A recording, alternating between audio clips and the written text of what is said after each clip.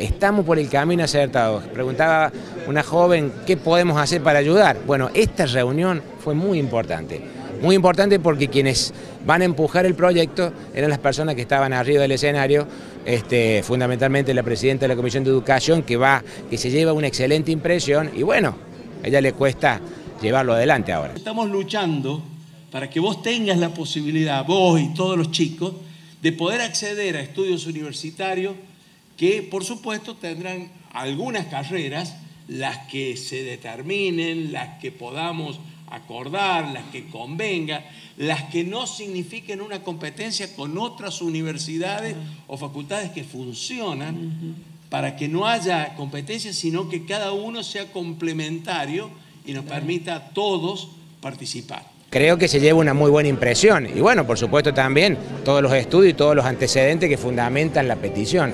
Así que, y que los tres senadores nacionales estén trabajando juntos, este, en, esta, en esta propuesta, independientemente de la ideología política y que este, bueno, estén presentes también la rectora de la Universidad de Villa Mercedes, el rector de la Universidad de San Luis, de la Nacional de San Luis, que tiene su facultad de turismo en San Luis, y todo en armonía y bueno, creo que vamos a lograr el objetivo más rápido de lo que, de lo que pensamos. Una reunión eh, excesivamente importante porque se mostró la energía de la comunidad de Merlo en los jóvenes primero y en los adultos después de las distintas instituciones esa sinergia que necesitamos para un proyecto tan fuerte como este. Nosotros hace pocos días hemos sancionado en el Senado, justamente en, este, en el transcurso de esta semana, un proyecto de universidad para la localidad de Hurlingham en Buenos Aires.